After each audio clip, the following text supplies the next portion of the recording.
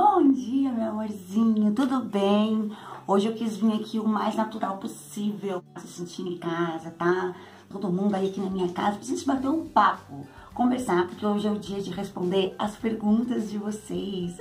Faz muito tempo que eu não vejo com vídeos de perguntas e respostas, e aí eu botei lá no Instagram que eu queria fazer esse vídeo, porque tem muitas meninas novas né, na YouTube, aqui no YouTube, ela quer saber um pouquinho mais de mim, aí eu falei, gente, pode botar aí as perguntinhas de vocês que eu vou estar respondendo. E eu separei, se não me engano, foram 11 perguntas que eu separei, tá?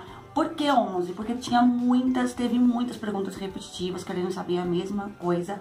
Então, assim, eu tentei pegar as mais diferentes, tá? Mas a maioria, gente, foi uma pergunta só na vida. Se você gosta desse tipo de vídeo de perguntas e respostas, deixa um like aí pra mim, tá? Pra me ajudar aqui no YouTube, pra ele saber que vocês gostam desse tipo de conteúdo e sempre tá mandando notificações pra vocês, tá? Ok? E se inscreve no canal, tá? E deixa aqui embaixo também sugestões de, de tags, né? Não sei se vocês gostam de tags, eu faço pouco aqui no canal, mas se vocês gostam, bota aqui embaixo que eu faço sim. Bom, vamos começar. Ah, tá misturado aqui, tá? Perguntas do YouTube, do Instagram e do Facebook, tá na fanpage lá. Inclusive os links estão todos aqui embaixo pra você lá me seguir em tudo. Vamos lá. A Rayana Costa mandou assim, Sully, quantos filhos você tem? Rayana, linda, um beijo. Eu tenho duas meninas, tá? Tenho duas meninas. Tenho a Emily, que é mais velha, e a Ellen. A Ellen tem 9 anos e a Emily tem 11, tá? A Emily vai fazer 12 esse ano e a Elise vai fazer 10. A Valdete Paulino, beijo Valdete linda. Ela botou assim: Você é linda. Você é de que igreja? Manda beijos. Valdete, obrigada. Recebi muitas mensagens carinhosas como essa. Você é linda, você é maravilhosa, não sei o que. Você até, até de Beyoncé me chamaram no Instagram. Ó, eu sou do Ministério do Brás, tá? Eu sou do Ministério do Brás, aqui em São Paulo, só que eu não sou da sede. Na sede nós só vamos quando tem algum evento muito grande, que daí todas as filiais têm que ir pra sede, aí nós vamos lá. Mas é muito difícil ir no, Brás sede, porque a igreja que eu vou é bem perto de casa, é uma igreja também, assim, grande, legal, sabe, com bastante atividades. Então é bem difícil eu ir na, na sede do Brás, tá bom? A minha igreja é do Brás, tá? Brás, Brás, Brás. Vamos lá. A Cintia Multimarcas, linda minha amiga, botou assim que ela gostaria muito que eu fizesse um vídeo, é, um ao vivo, né, aqui no YouTube. Eu acho que eu nunca fiz um ao vivo aqui no YouTube. Gente, o que, que vocês acham? Bota aqui nos comentários. O meu medo de fazer vídeo ao vivo é que vocês não assistam. Então acho que é uma coisa, tudo tem que ser combinado, um horário e tudo mais. Então coloca aqui embaixo se vocês querem que eu faça qualquer dia um vídeo ao vivo pra vocês, ou até mesmo uma conversa ao vivo, tá? Bota aqui embaixo que se eu ver que vocês querem realmente, eu gravo pra vocês. Aliás, eu faço pra vocês o vídeo ao vivo. A Fabi Hansons. Fabi, você é irmã do Hansons? Quem lembra do Hansons? Ela botou assim, Oi Diva, como foi? Ai, essa pergunta... Por isso que eu quis gravar esse vídeo cedo, porque eu não tô meia tarde que acordou, eu, agora é cedo. E eu falei assim, eu vou gravar esse vídeo cedo porque eu tava meio lesada ainda. E eu sei que eu não vou chorar com algumas perguntas. Então, por isso eu resolvi gravar assim, sabe? Tá, a Fabi falou assim, Oi Diva, como foi a sua infância? Foi de boa ou passou o trabalho? Vou até colocar aqui as perguntas e vamos responder essa pergunta. Eu acho que eu já falei, pra, contei um pouquinho pra vocês aqui sobre a minha infância. Tem um vídeo aqui gravado, tá? Eu vejo se eu consigo deixar umas fotos aqui durante eu vou falando. Eu acho que devo ter umas fotos de criança. Eu não sei, vou dar uma procurada. Se eu não tiver, eu não vou colocar. Enfim, é, não, gente, não foi de boa, não, tá? Não foi de boa mesmo. É, principalmente hoje, eu tenho filhas e eu comparo muito. É automático. A gente que passa perrengue quando a gente é criança, a gente tem filho, tudo a gente, quando a gente lembra, a gente coloca os nossos filhos e se fosse eles. É automático na nossa mente, sabe? Tudo que a gente passa, e se fosse eles? Sabe? E isso dói demais, cara. Isso dói muito quando a gente coloca os nossos filhos no nosso lugar, em tudo que a gente já passou na vida. E foi assim. A minha mãe foi embora de casa quando eu tinha 5 anos de idade. Nós somos em cinco filhos, cinco irmãos. Eu sou a do meio, né? Então antes de mim tem dois irmãos mais velhos, meu irmão e minha irmã, depois vem eu, depois vem mais duas irmãs. Então, quando minha mãe foi embora, eu que sou a do meio, tinha 5 anos de idade. Então você imagina as minhas duas, outras duas irmãs que vinham depois de mim, que veio que vem depois de mim, elas eram tudo bebê. Inclusive a minha irmã mais nova, Grace, ela tinha meses quando minha mãe foi embora de casa. E eu lembro exatamente de que minha mãe foi embora e tal. Eu, eu lembro até que eu fiquei meio perdida, assim, sabe? O que tá acontecendo. É muito engraçado porque eu lembro, gente. Eu lembro. Tipo, isso que é mais surreal é que eu lembro de tudo. Eu tinha cinco aninhos só. Então, o que acontece? Quando minha mãe, como minha mãe foi embora e todo mundo ficou morando com meu pai, não foi ninguém com a minha mãe, a gente ficou tudo com meu pai. é, a gente teve que se virar, porque meu pai trabalhava, né? Assim, questão de passar fome, essas coisas, sempre teve comida em casa, assim, pelo menos até onde eu lembro. Mas a gente tinha que se virar para fazer, porque meu pai não ficava em casa, meu pai trabalhava, a minha mãe já não morava mais com a gente. Então, se eu tinha 5 anos, eu lembro que teve uma época que minha avó foi morar lá na nossa casa com a gente, só que eu já estudava. Então eu fiquei aí um bom, a gente ficou um bom tempo aí sozinho ainda, né? E foi difícil por isso, porque a gente era muito bebê, muito criança, eu e minha irmã que fazia tudo, cozinhava, limpava, cuidava das menores, e tipo, era muito difícil, gente, sério. Hoje eu colocando as crianças no meu lugar e falo, mano, é uma loucura isso, cara. Tipo, eu fritava, fazia fritura, eu mexia, gente mexia com fogo, lavava louça. Eu lembro que eu subia em banquinho pra poder lavar louça, pra poder fazer comida. E tudo era muito perigoso. Não é que nem hoje que tudo é elétrico, que tudo é mais fácil em relação à cozinha, né? Hoje tudo é elétrico. Tanto que aqui eu falei pra vocês no Instagram que as meninas se viram, né? Faz tudo, mas porque tudo aqui é elétrico. A gente mal tá usando fogão, porque a gente compra tudo elétrico justamente por causa delas. Eu tenho um grande trauma na minha vida que toda vez que eu vou fazer algum tipo de fritura, que eu não faço mais, né, porque a gente comprou uma panela elétrica de fritura, eu não deixava, não queria as crianças na cozinha. Eu tirava todo mundo da cozinha eu ficava sozinha na cozinha para fazer fritura, porque eu tenho um trauma. Eu nunca fui queimada, mas só de pensar que tem criança perto, eu fazendo algum tipo de fritura, eu entro num pavor, num desespero. Então, esse fato da gente ter ficado sozinha, criança, sabe? Eu lembro que muitas vezes a gente ficava esperando a minha mãe voltar, a gente ficava na frente de casa. A gente morava numa vila militar, então, assim, não tinha problema, não tinha perigo. O único perigo que a gente tinha era em questão disso, né, de cozinha e de bicho no mato. Porque tinha muito mato lá, e aparecia cobra, aparecia muito lagarto, aparecia muita aranha. Nossa, direto aparecia aquelas aranhas enormes, perigosas, sabe? E tinha bebê em casa. E a gente, criança, não podia ficar o tempo todo em cima. A gente não sabia ficar de olho é, o tempo todo na Grecinha, no caso que tinha meses, né? Engatinhava, ela nem andava ainda. E ela vivia no mato. Então, assim, gente, são coisas que eu penso assim, cara. Eu coloco as crianças no lugar, eu tenho vontade de chorar, sério. Por isso que eu falei que tava muito difícil essas perguntas, porque teve muitas perguntas aqui meio parecidas com essa, sabe? Mas vencemos. Hoje eu acredito que Deus tinha um plano na nossa vida, porque eu tenho a plena certeza que era para um de nós estar tá morto hoje em dia, com tantas coisas que já aconteceu com a gente. Já caí de uma árvore, gente, altíssima. Já caí da árvore de goiaba, era muito alto, caí lá de cima, quebrei todo. Enfim, várias coisas já aconteceram. Se vocês quiserem que eu faça um vídeo só disso, contando a minha infância, embora eu acho que tem vídeo aqui no canal, eu faço pra vocês um mais detalhado. Porque até fugir de casa a gente já fugiu, tudo bebê, tudo criança. Então, se eu tô dando risada porque eu tô bem, tá? Era de manhã sou meio lesada, eu sabia que não ia chorar. Mas é isso, não foi fácil. Foi fácil depois que minha avó foi morar em casa, que deu uma amenizada. E depois nós fomos morar com a minha avó lá na casa dela, viemos pra Itaquera pra morar com a minha avó, que eu morava em Guarulhos antes, né?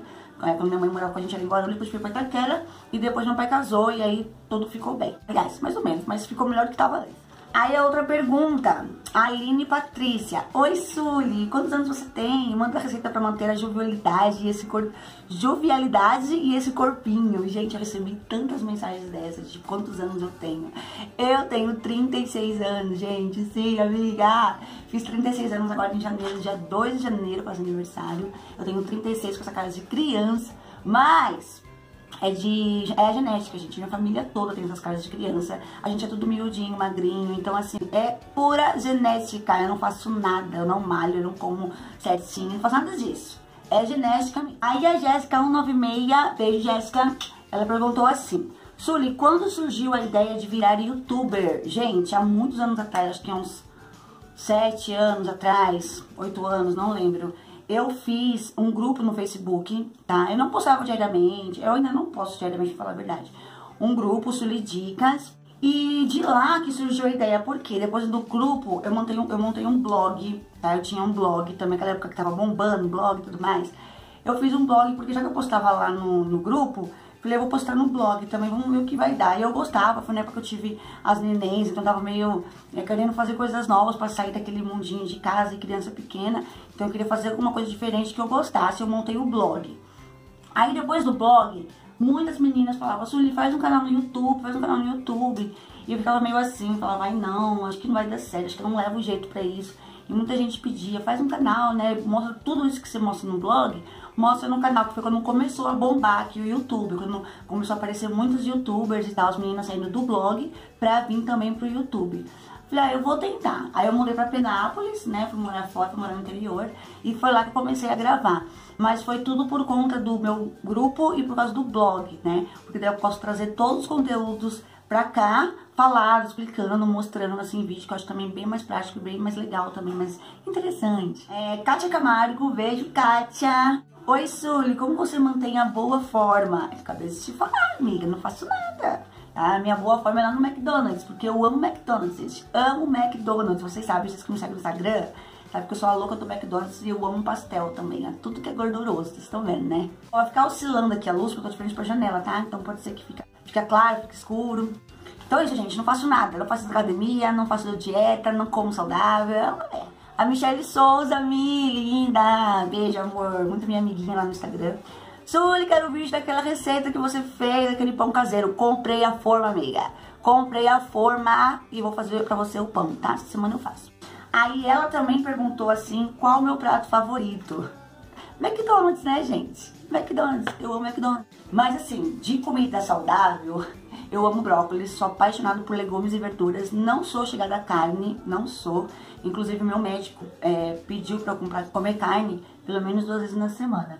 Mas, por mim, eu não, nem comeria. Por, não é por causa de vegetarianos, não é isso não, gente. É porque eu não sou chegada mesmo. Legumes e verdura. Eu sou apaixonada, amo, amo, troco fácil por carne. A Thaís Trindade, linda! Minha amiga também, maravilhosa, violinista, tem um bebê lindo. Ela falou assim, Sully, você tem vínculos com a sua mãe? Te admiro muito. Eu também te admiro muito, porque você é muito linda. Tenho, gente, tenho. Assim, eu fui ter um vínculo com minha mãe mesmo, depois que ela foi embora de casa, quando eu tinha 15 anos, eu lembro até hoje. Que foi quando eu comecei a sair sozinha, pegar metrô, trem, ônibus sozinha. Embora a gente bebês, crianças também pegamos ônibus, pra você ver como a nossa história é longa. Mas assim, na adolescência a gente começou a se aproximar mais, tá? Eu já tinha aí uns 15 anos. Antes disso, a gente ia na casa da minha mãe, é, pra, pra gente poder ficar com ela final de semana e tal. Eu lembro que eu ia, a gente ficava lá muitas vezes. Mas na maioria das vezes ela sempre saía, tinha que trabalhar, ou, ou, ia, ou já tinha alguma saída programada. Então assim, é, eu fui conseguir, né, ir até ela. Eu tinha 15 anos de idade. E hoje a gente está super bem, normal. Ela ama minhas filhas, cuida, me ajuda quando eu preciso. Embora sempre é ela que pede, né? Eu nunca falo, mãe, toque as crianças que eu preciso fazer alguma coisa. Não, gente, eu não faço isso. Tudo acho que a obrigação é minha, eu tenho que cuidar, eu tenho que me virar. Não deixo as crianças com ninguém pra me virar. Se eu preciso deixar, eu prefiro pagar, sabe? Tipo, se eu precisar muito pedir, ó, você pode ficar com as crianças pra mim? Eu prefiro pagar. Ou alguém que eu sei que não iria se importar mas isso é muito raro, ainda mais acho que as crianças já estão grandes, elas já ficam em casa, se eu preciso ir no mercado, alguma coisa, elas já nem querem ir mais, pra falar a verdade, não querem nem sair mais comigo. Mas a minha mãe sempre pede pra ficar com as crianças, então ela, a gente tem um vínculo muito bom. Eu morei com ela há um tempo, quando eu engravidei da Emily, eu morei com a minha mãe um ano, mais ou menos. Então, assim, a gente tem sim um vínculo bom, tá? A gente conversa assim, normal. Eu não fico remoendo nada que aconteceu no passado, gente, porque é passado, né? Então eu não fico remoendo aquilo. Óbvio que a gente não esquece, né? A gente não esquece. Quando a gente passa por uma coisa muito assim, principalmente quando a gente é criança, que fica aquela coisa na nossa cabeça, aquele trauma, a gente não esquece. Mas assim, eu levo de boa, sabe? Eu fico pensando nisso 24 horas, passou, tá todo mundo bem hoje, pra mim é o que... A Erika Maia, muito linda, ela sempre comenta aqui no, no, no, nos vídeos no YouTube. Obrigada, Erika, viu? Pelo seu carinho, que ela é muito carinhosa comigo, gente. Ela colocou, Oi, Sully, linda, como você administra o seu dia, horário, para cuidar da casa, das crianças, do marido, do seu trabalho e de você? E se mantém assim, linda, maravilhosa, poderosa. Meu, vocês enchem muito a minha bola, cara. Vocês enchem a minha bola assim, eu fico me achando. Fala um segredo pra gente, minha amiga linda. Sou sua hiper mega fã. Beijo, meu amor, a gente não tem segredo. Ó, é assim, de eu me manter, não tem segredo nenhum, tá? Tô aqui, do jeito que eu acordei, eu vim aqui. Mas em questão da casa das crianças, é tudo programado mesmo, entendeu? Principalmente pra eu gravar, eu sempre gravo é, todos os dias da semana num dia só entendeu? Pra eu poder me organizar depois com a casa, com tudo isso que ela falou, entendeu? Então, assim, o que mais pega realmente são os meus trabalhos, porque eu não faço, não vivo só de YouTube, eu tenho meu trabalho também. Mas, assim, eu acho que tudo com um cronograma, você se organizando direitinho, eu coloco no papel, sabe? Eu tenho uma, uma, uma lista qual a minha rotina daquele dia, o que, que eu vou fazer, o que, que eu não vou fazer, o que eu preciso fazer de mais urgente. Então, assim, a questão de se programar que dá tudo certo, tá? O trabalho que mais toma o meu tempo é isso daqui, é YouTube, pra te falar a verdade. Porque eu tenho que, eu tudo sozinha, né? Eu faço tudo sozinha. Gravo, edito, capa, então assim, essas coisas demoram muito. Então eu tenho que me programar primeiro aqui pra deixar vocês na mão e o resto é mais fácil, tá? Mas dá, dá pra dar conta, tá? Porque daí a gente separa direitinho, né? Se organizar direitinho, eu vou fazer tudo. Aí a flor cheirosa, essa é a última pergunta, tá? Flor cheirosa, Súlio, você está casada ou solteira? Pretende ter mais filhos? Gente, eu sou casada e não. Não pretendo ter mais filhos, não é porque eu não quero, é porque eu não posso mais, tá? Somos operados, então eu não posso ter mais filhos, embora eu teria, assim, fácil mais um filho agora. Agora as crianças já estão grandes, a Leizinha tem 10 anos, né, a Emily tem 12. Então eu, eu teria, assim, mais um filho, mas como não dá mais pra ter, que é uma outra história bem complicada, o porquê que o meu marido operou, tá? Se vocês quiserem, eu também conto pra vocês. Mas é basicamente isso, gente. É, ele achou que tava bom, ele não, né? A mãe dele achou que tava bom, dois filhos e resolveu operar. É. Então, assim, eu teria outro filho, sim, teria se eu pudesse. Eu posso, né? Que não posso ele, na verdade. Mas tá bom, tá bom, são as duas meninas, a gente é super feliz, eu sou muito feliz com as crianças, então eu acho que eu tivesse uma necessidade tão grande de ter mais um filho, eu dava um jeito. E essas foram as perguntas, vidas, vidas, vidas, vidas, foram as perguntas. Falei se vocês gostaram das respostas, tá? E se vocês quiserem um parte 2, já coloca aqui embaixo as perguntas, que eu já começo a anotar tudo e já me programo para um parte 2 aí de perguntas e respostas, tá bom? Se gostou, não esquece de avaliar, deixando um like bem bonito, bem seroso, bem amigo. E se inscreve aqui no canal, né? Se inscreve aqui pra você poder assistir os próximos, se tiver os próximos, tá? Um beijo, um coração lindo, vai lá no meu Instagram, ó. Lá no Instagram pra gente conversar mais, tá bom? Um beijo, a gente se vê no próximo vídeo. A gente se encontra aqui amanhã. Amanhã é segunda-feira. Estaremos aqui.